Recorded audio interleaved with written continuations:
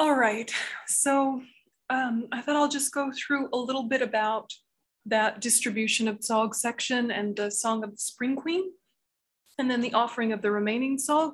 And if that doesn't cover any questions that you had, then we'll have time for some questions. So a um, little bit on the distribution part. So the distribution part of tsog is verses 70 to 75 is the Song of the Spring Queen, or also known as the Song to Move the Dakini's Hearts. And it's the one that goes,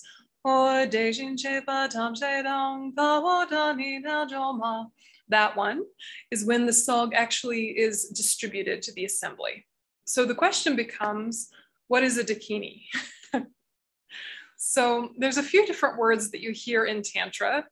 You hear goddess, which is lamo, in the context of offering goddesses, also god and god realm goddesses, all sorts of goddesses. You hear dakini, or in Tibetan, the word is kadro. And then you hear consort or sheribma or karmamudra.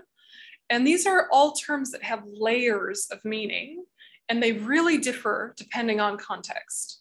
So even though you'll hear the word consort in English, um, gradually building popularity is a better translation, which is wisdom mother, wisdom mother. So whether we are talking about a goddess, a dakini, or a wisdom mother, those can all be mutually inclusive terms or mutually exclusive terms. It very much depends on context. So the song to move the dakini's hearts, that section that we do while we're distributing this song, we're really trying to connect with specifically dakini kadro energy. So that's what we'll talk about here. So this is from Jan Willis's book called Dharma Matters, Women, Race, and Tantra. It's a fantastic book. I really recommend it. And she says, Dakinis are said to be beings that are tricky and playful. The term is thus sometimes glossed by translations like sky dancer or sky enjoyer, which is ka dro in Tibetan. They're often described as wrathful or semi wrathful deities though it is also recognized that they may have human or other animate or inanimate form as well. In some contexts, they are termed demonical beings or witches. One scholar seemed to like to call them furies. Others have referred to them as sprites and fairies. They've been called genii of meditation. For tantric adepts, they are viewed as messengers or prophetesses or protectresses and inspirers. Additionally, they are at times regarded as rikmas or mystic consorts. And most inclusive of all, within Buddhist tantric contexts, Dakini is viewed as the supreme embodiment of the highest wisdom itself. Embracing such wisdom, one becomes Buddha.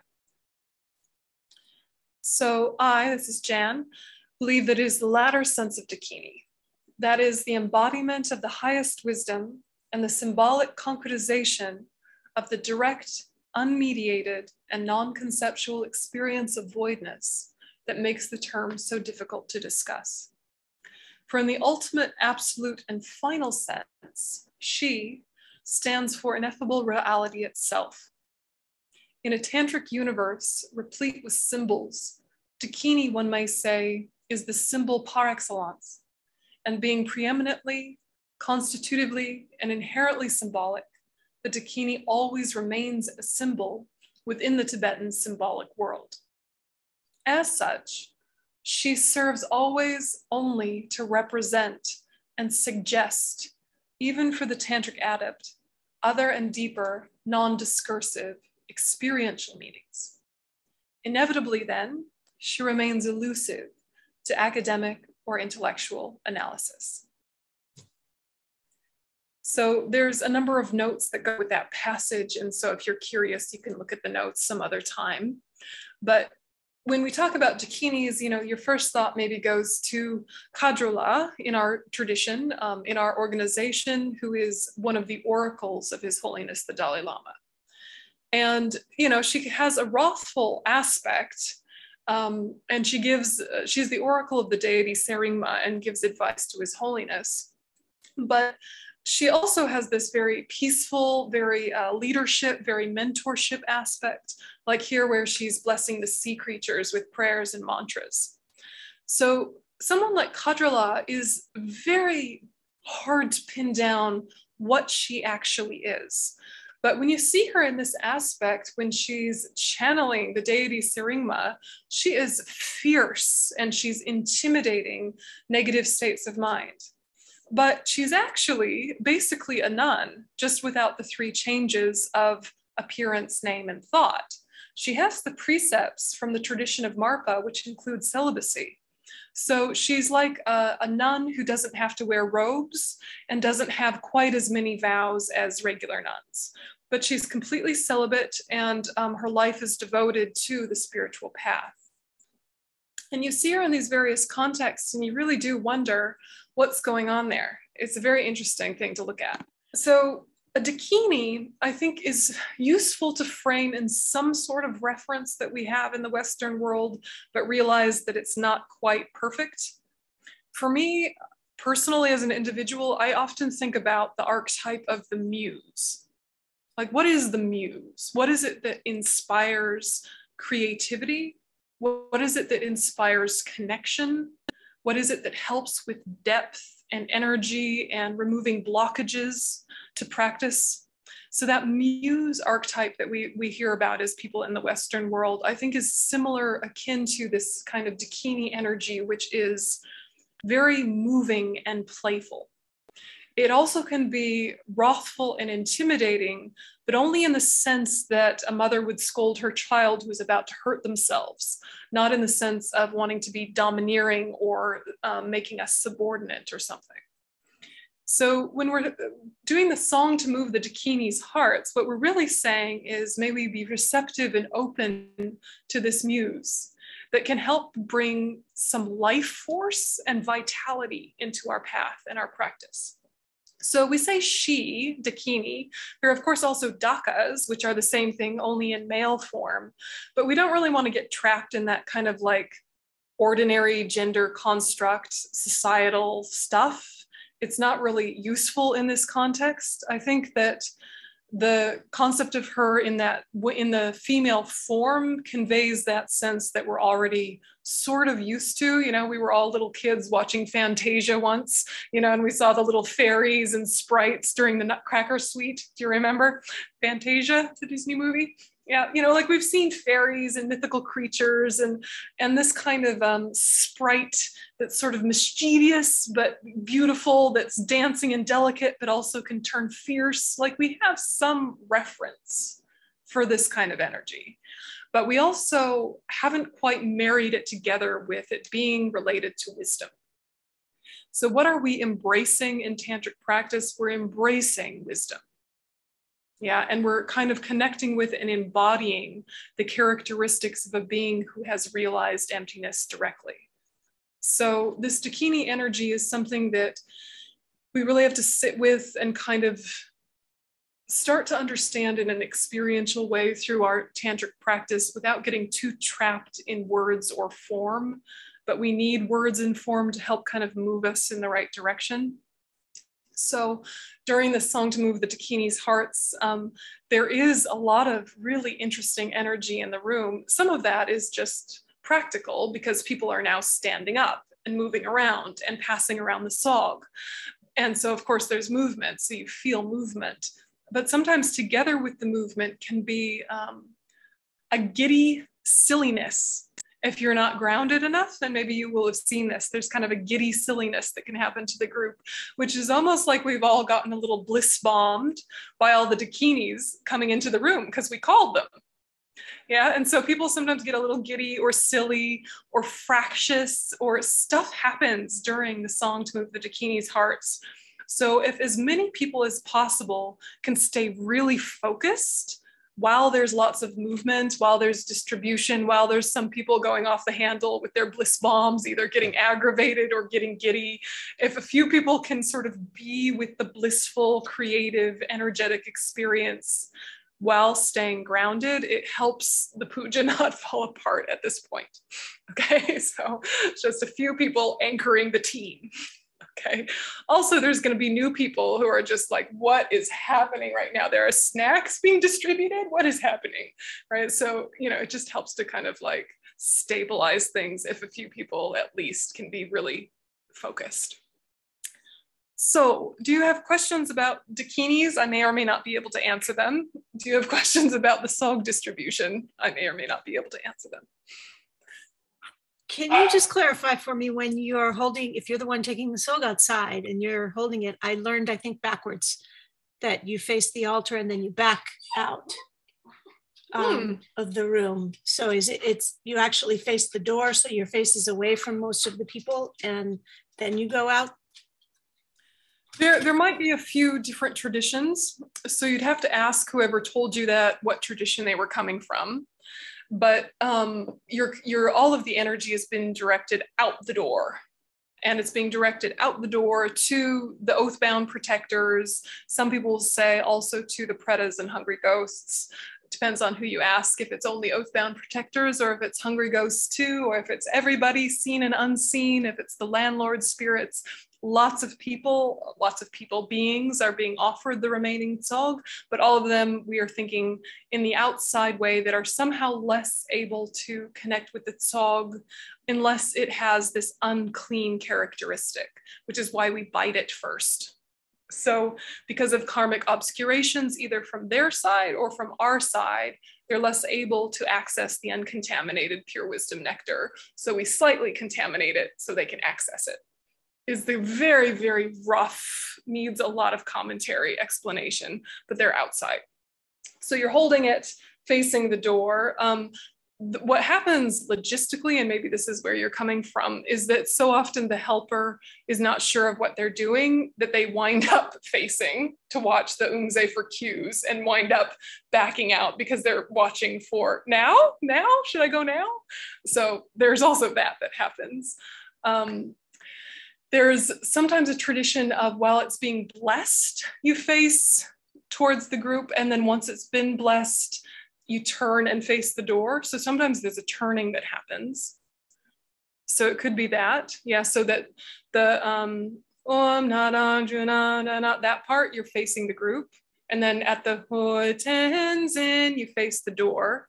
But so often the Lama is right there that maybe people don't want to turn their back on the Lama. So maybe that's where your tradition came from. It could be that. Yeah, that would make sense. So they're, they normally would be facing towards the door at that point, but they don't want to put their back to the teacher. And so they're backing out. Maybe. So we'd have to unpack whoever gave you that advice. There's probably a lot of correct reasons for that.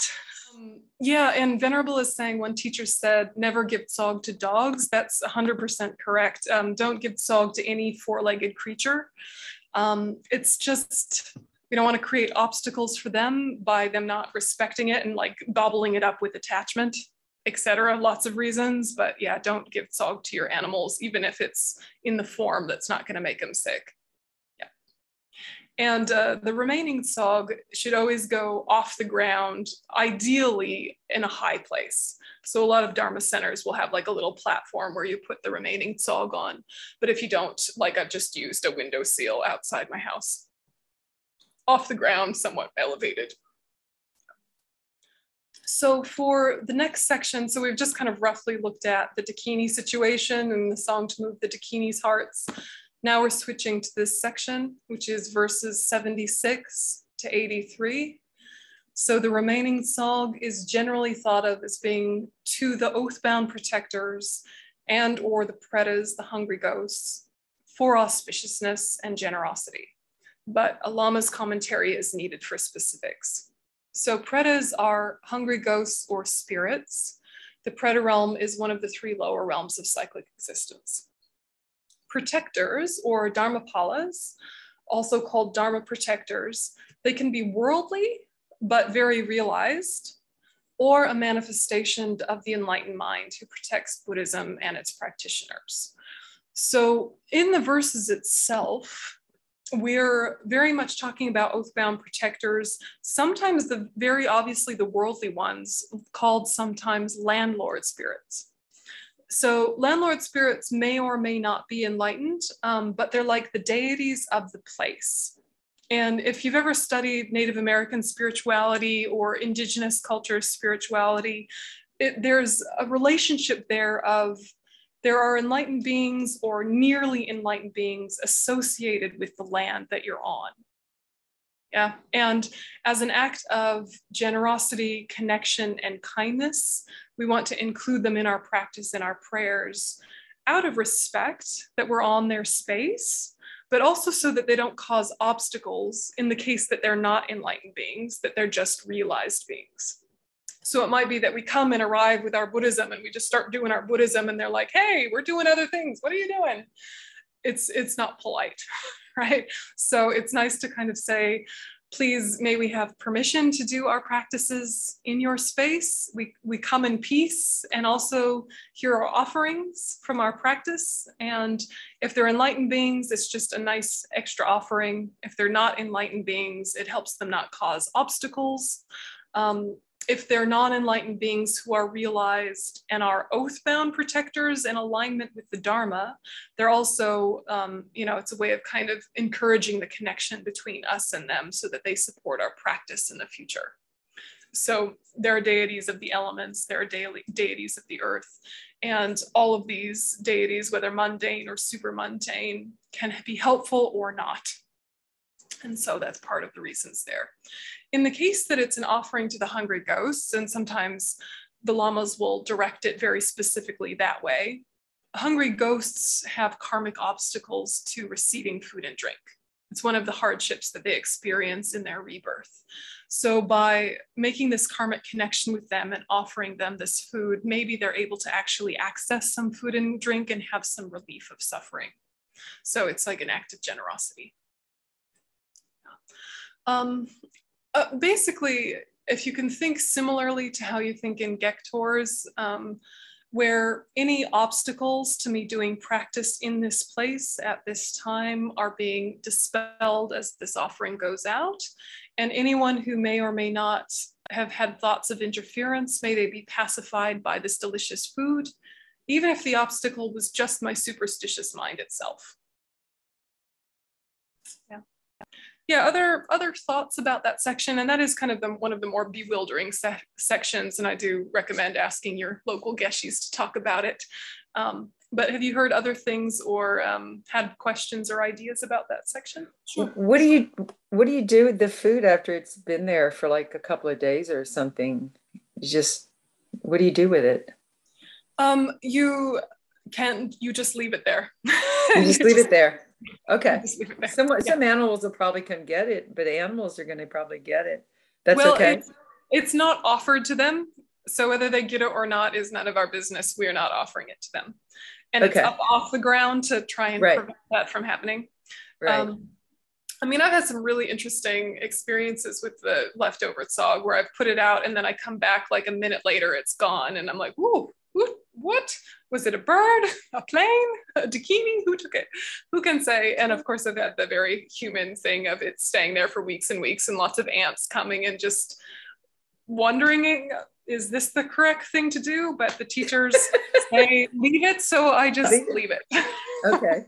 Thank you. But indeed, keep asking these questions. I in no way have all the answers. It's just uh, logistically um, I know some things that we're taught to do, and I trust the teachers that they know what they're doing. But it could be that there are also um, a lot more commentaries that would help us connect to these practices more deeply. So the remaining tsog part is very short part. Um, it's a very noisy part. There's a lot of movement in that part. And if you're in a position of helping a center, just make sure you're oriented about which which part of the practice to stand up and gather the remaining tsog and just kind of be oriented about newer students won't know that they're supposed to take some of their tsog, have a little bite and put it on the plate. So it might be good to make sure your helpers are all really oriented so that they can just gently whisper it to new people or that there's an announcement at the beginning if you know there's lots of new people. Because a lot of this is wanting to make sure that the things that are secret, you keep secret, but the things that are just confusing, tell people, right? Secret things keep secret, but they're only secret because of wrong views that will be developed because of people learning about them too soon without enough context. So it's not secret because we're ashamed or secret because it's bad or secret because we don't think you'll understand. It's that lots of context is needed to meet that information correctly. So we put it to one side, somewhat behind, preserves its sacredness and its power. But a lot of the stuff that's just kind of confusing, it can be very off putting to new students and they feel not included or they feel like they're doing the wrong thing. And so we want to make sure we feel just really lots of warmth and lots of um, no big deal explanations and say things like, at this point, this happens. There's lots of reasons why. I know some of the reasons, not all of the reasons. We'll find about it in the fullness of time. But when the guy comes around, take a bite and put it in. you know, just matter of fact, clear explanation, I think is really helpful for not alienating, alienating new people. Oh yeah, um, there is there is a suggestion that we don't talk to each other while distributing the tsog. That's certainly the case that you don't want to, well, obviously causing arguments during an offering ceremony.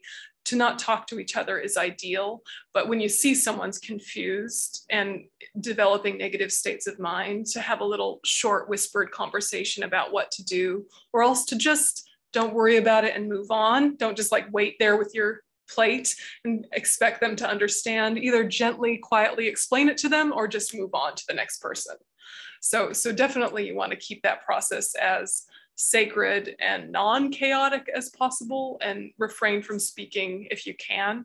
But it's that balance of what is going to help the group energy and what's going to create dissonance and if there are many confused, grumpy people, it's going to be harder to focus and do the practice for the senior students as well. So there's, you know, you just common sense. Certainly never have a fight during tsog. never have a fight during tsog. And if someone is doing something different to how you're doing it, just let it be. Um, if you can gently explain something without it causing a drama, do, but harmony is more important than most things. yeah. um, especially at Dharma centers, harmony is far more important than being right. Um, there's very few things that are worth the argument, especially during a ceremony, because we're trying to go deeper than that nonsense you know and so if it's like later a week later you can say oh during that one part we actually do this at this center because of these reasons. And it's just a nice chatty sharing of information nice and light no judgment just logistics. That's that's the way to approach it not like a heavy thing of did you know lama zopa said it's terrible heavy karma if you do raw you know and it's like just keeping it really friendly really friendly. Yeah and know your audience. Yeah, who are you talking to? So I think I think we all know the the unfortunate stereotype of the church lady, right? The unfortunate stereotype of the church lady. We do not want to become the Dharma police, which is our version of being the church lady. Yes, who's like, you know, like a school marm. Um, so much of Buddhism 99.9% of Buddhism is about what you're doing in your mind. Very little is about the out, outer display of that. You just want it to be in alignment with that. Yeah, so gently, gently. And uh, you said we follow our guru's advice the best we can without being uptight or shaming people that don't know that advice. um, so then I thought maybe briefly we could do some intro to some highest yoga tantra ideas that are okay for a general audience just because a lot of that information already exists out in the world and maybe it will make it less confusing and less likely that there's wrong views. So, um, you know, grain of salt, all of this. This is the word that is the most problematic. This word, consort, wisdom mother or wisdom father. This is the most misunderstood part of Buddhism, Tibetan Buddhism, Tantra specifically. So it refers to the partner, quote, partner, either male or female, usually female, in the Buddha couple, such as Vajradhatu Ishvari, Vairocana's consort. Sometimes the father and mother in the Buddha father mother couple are considered different divine beings. Sometimes only the double manifestation of a single being. So already you're realizing we are not talking about an ordinary human samsaric romantic relationship. We're talking about method and wisdom being combined. So when you see two deities in union, sometimes it's two divine beings representing two different things. Sometimes it's a double manifestation of the single being. The Buddhist belief is that all beings, whatever their superficial sexual identity, are potentially both male and female. Each has a male and female aspects and energies in his or her being. The empathic ability to transcend sexual identity habits is cultivated by tantric archetype meditation, wherein a male will meditate on himself as a female archetype Buddha, a female will meditate on herself as a male archetype Buddha, and both will meditate on themselves as male and female Buddha couple in union. So this is all to break down ordinary appearance and grasping. So then when we talk about people who were consorts or wisdom mothers, we're talking about usually heart disciples or fellow practitioners. The most famous example being Padmasambhava, Guru Rinpoche, and his two heart disciples, who were teachers in their own right, Princess Mandarava from India and Princess Yeshe Tsogyal from Tibet. And so when you see images like this with deities in union, the main layer of meaning to understand is that the female aspect represents wisdom, the male aspect represents method, and them being together in union like this means that, that wisdom and method must be practiced and eventually united. So don't get weird about it, is the point.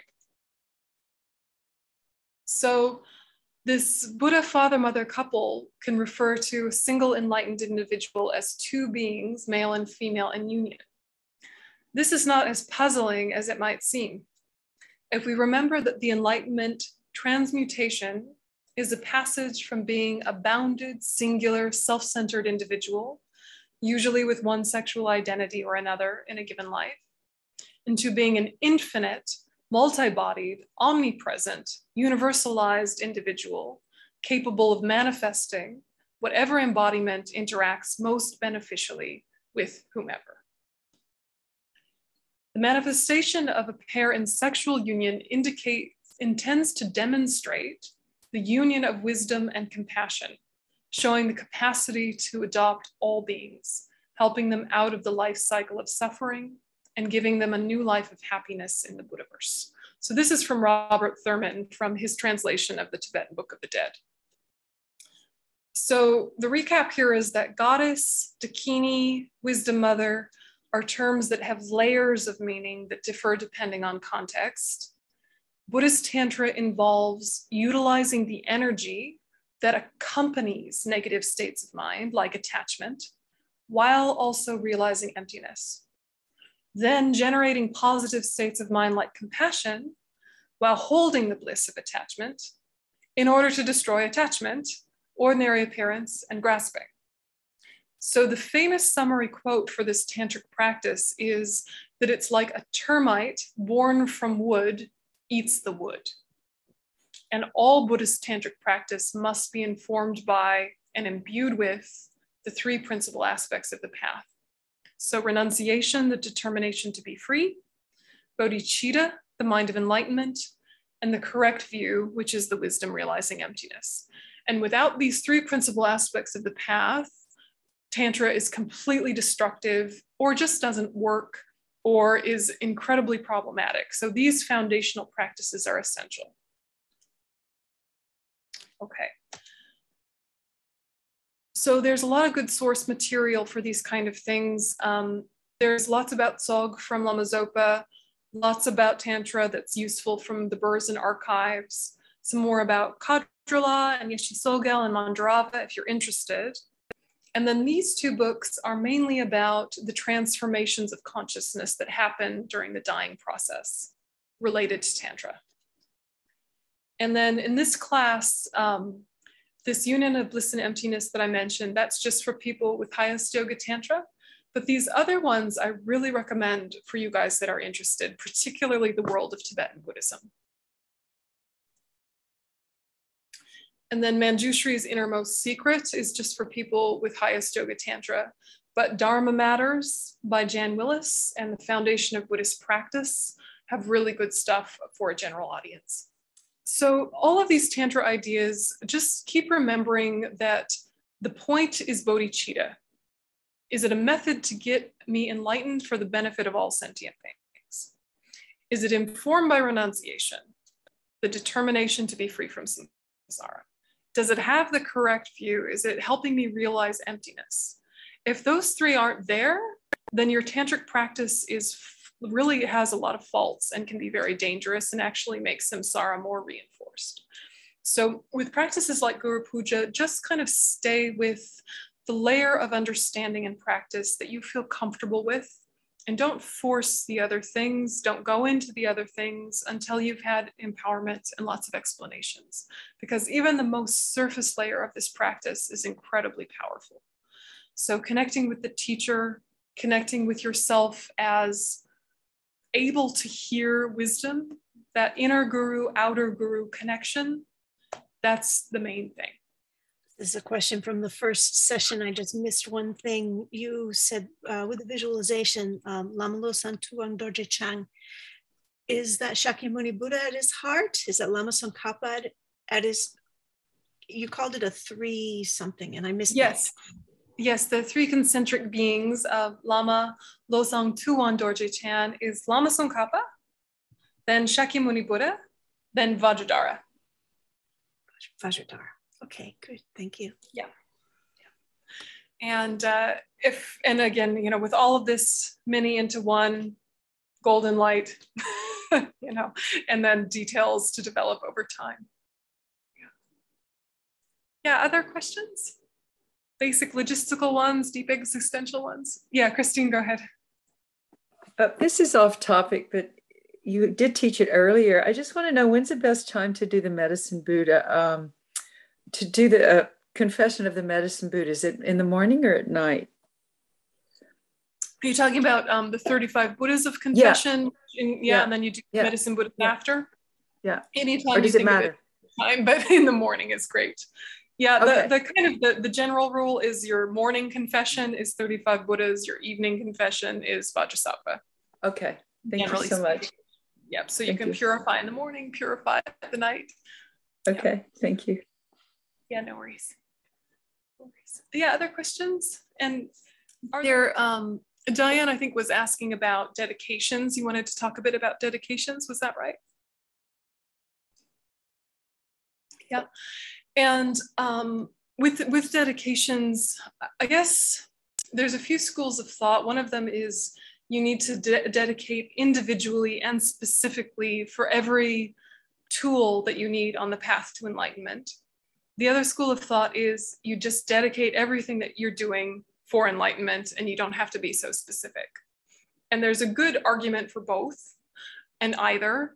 And what you're really doing is if you have time and space, dedicate individually and specifically all the different kinds of dedication that there are that Lama Zopa re recommends. It's, it's powerful, it's meaningful to think all of the virtue you've created is really being sent to your enlightenment and in the meantime, this, this, this, this, this, this. But don't feel trapped by the need to do that. Dedication can also be just a thought, like a five second thought. May all of this that happened go towards my enlightenment for the benefit of all sentient beings, which is empty.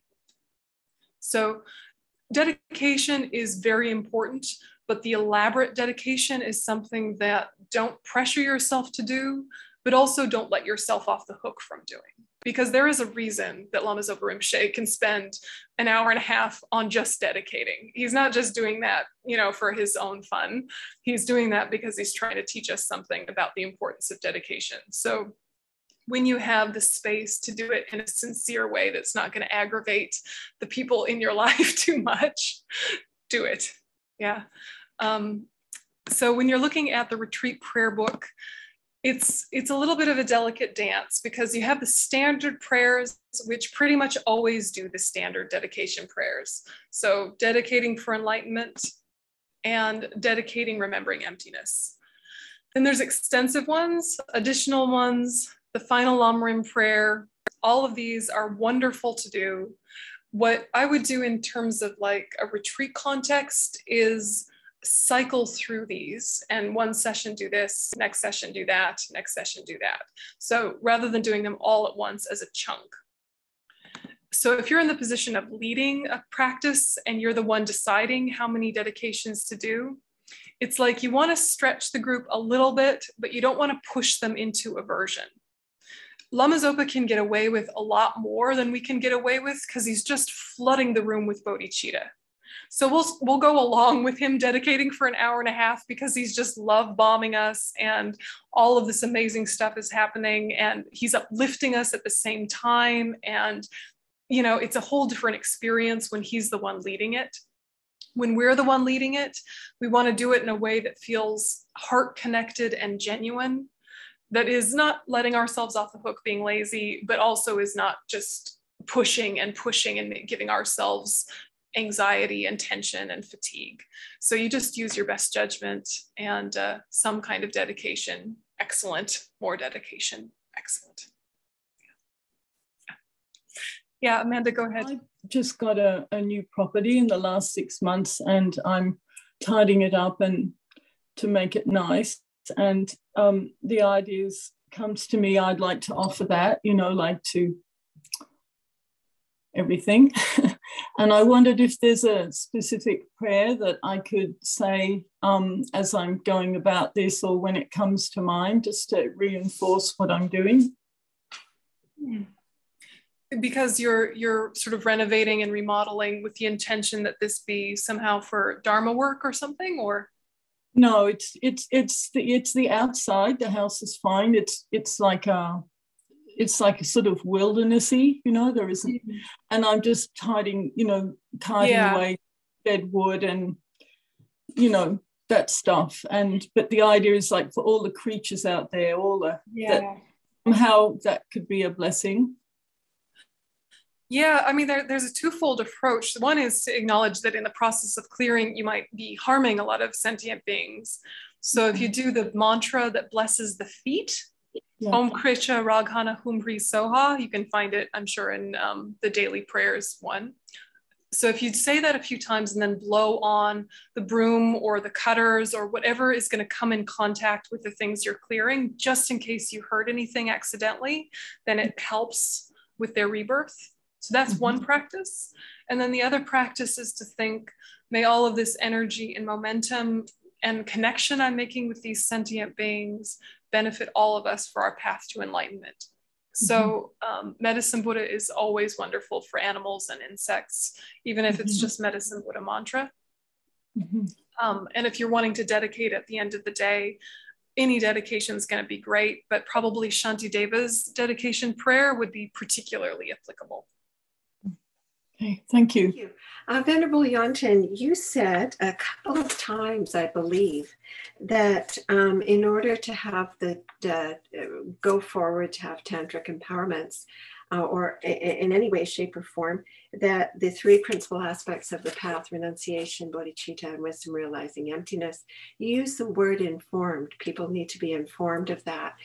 And I'm wondering if you would be so kind as to say a little bit more about what is meant by that? Because there's i mean to realize all those things would would just take endless numbers of eons as the as they say. Um, to to hear the words uh, you know is over on this side and uh, what how do you know when you kind of might have enough um, and can veer off there when you're practicing yeah. here with yeah it's, with, it's a good question Mm-hmm. Yeah, it, it's a good question. And, you know, it, it's the three principal aspects of the path are, you know, technically you should have a realization of them before you practice Tantra. Mm-hmm. Logistically, that's almost never the case these days with the degenerate age. Mm-hmm. What you do need is to have studied the three enough that you mm-hmm. understand them in a workable way and have conviction in the truth of them and are actively bringing them into your life. Oh. So it's not a realization, but it's a firm respect and belief and adherence to those three as being absolutely true and absolutely vital for your path. Mm-hmm. So it's so it's understanding plus conviction. Mm-hmm. Yeah. That's very helpful. Thank you. Yeah. Understanding plus conviction. I'm, I'm finding myself wanting to focus more on the basics and wanting to just go back through the Lam again. And it like, you know, Lama Zopa says, it, I think you should do it 300 times. so rather, you know, there's all these other kind of like classes on emptiness and, you know, all these other like uh, more advanced topics. And I'm always like, oh, maybe I should study that. But, you know, so, you know, do, is this a common, do you have this kind of problem? Like, you know, you like, you, focus. Yeah, you've taught me go back to the commentaries if your practice gets boring. That's one thing that's a gem that I got from you. And Yeah. that has been a, a huge gift in my life. And I want to thank you for that. I didn't have any idea. My practice has gone to a whole nother level, just the things that I always do. But now I do them in such a different way. But yet I also want to be pushing myself, you know. So what's that? Can you talk a little bit about that kind of that that edge? Well, it, it's it's one of these things where you want to ask yourself, what is giving you life? Yeah, what is giving you life in your practice? And sometimes your advanced practices that you've been doing in a cursory way, you Right. have mental space to add layers and depth and nuance to them. And so go with that momentum and pursue those commentaries and just take it to its natural conclusion until you feel full, you know, and you're like, okay, I've studied enough about Chittamani Tara that I can bring some more depth into my practice. But if I keep studying these commentaries, I'm going to overwhelm my system. I won't be able to put them into practice right away, and I'll forget a lot of it anyway. I've learned enough new things to go more deeply. So let's just let it be and digest and continue. And then you ask yourself, what are the parts of my practice that are missing life? You know, missing life force, vitality, joy, connection. And what is that related to in terms of topics on the path? And, you know, if you're getting distracted a lot or if you're feeling really, um, I don't know, needy or drawn to various things that are sort of um, obviously attachment things, then you might say, okay, I'm trending in an attachment way. I need to study and practice more on renunciation. And I already know what renunciation is, and I've already studied it a whole bunch, but obviously I've got some stuff coming up which is inviting me to go more deeply with it than I have before. So let's make renunciation the project, you know, or whatever, right? So you're just using your life to help inform the direction Ah. you're going so that you're going with the momentum of your life, not against it. You know, what, what we want to do is stay Yeah. active and engaged with our study and our practice, but not pushing or forcing or completely drifted off and just kind of taking it for granted. That that kind Ah. of razor's edge of enough effort to keep you sparky, but not so much effort that you're getting overwhelmed. And it's going Ah, to vary day to day, but if you can kind of figure out your own way of pacing, then the content you can decide with a lot more skillfulness. Oh, thank you. That makes sense. So it's dynamic. There's no recipe. It's a dynamic. And it's a- personal. Like, where's that Dakini energy? You know, where's that? yeah, exactly. Yeah. Oh, thank you so much. I was always looking for a recipe. I mean, you also could just start with the Lam Rim, start at the beginning and just work your way through it again. You know, there well, is I a- have, if you want. and I'm, do- I'm Yeah. in a group. But that anyway, you that's very very helpful. Thank you so much. I love your um your suggestions. They're very helpful. You really helped me. Thank you.